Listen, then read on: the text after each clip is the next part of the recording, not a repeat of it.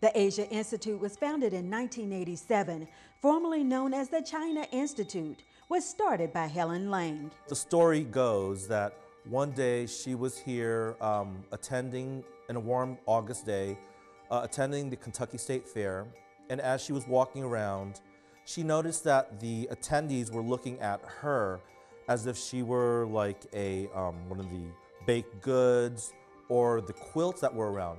During that time, people didn't really know much about the look of Asians, specifically here in Kentucky in the Midwest. Seeing the need to educate others about her heritage, she opened the Asia Institute. Post COVID, they would get back to holding tea ceremonies, teaching origami, calligraphy, and Mandarin.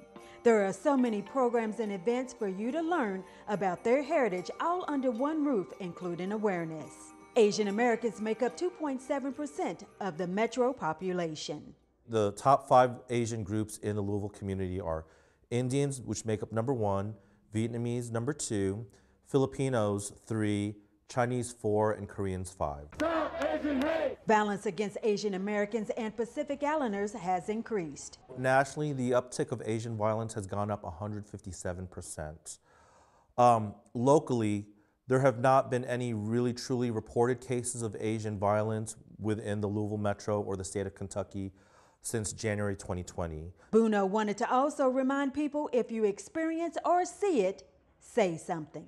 If you ever encounter anything, report it. Please report it. I would challenge everyone to look at your own communities, look at your own boards, look at your own areas of leadership, and really see how many Asians do I have who are part of this? Because the way we're going to transcend this is through representation and through education. I asked Buno to finish this sentence for me. When you visit the Asia Institute, please come hungry. Learn to appreciate and enjoy the different flavors of Asia. Be prepared to, to experience the flavors, the cultures, and just to learn, just to learn and appreciate that this gem is here in Louisville, Kentucky, a region that really benefits from learning about our, our, our, our different brothers and sisters. For your story, I'm Charlene Shanklin for WHAS 11 News.